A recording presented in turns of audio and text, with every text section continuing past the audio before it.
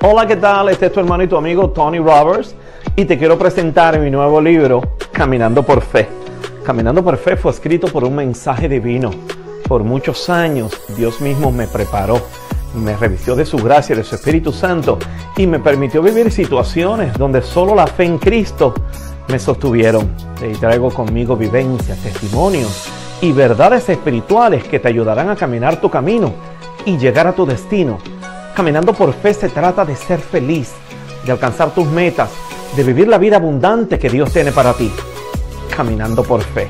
Dios te bendiga.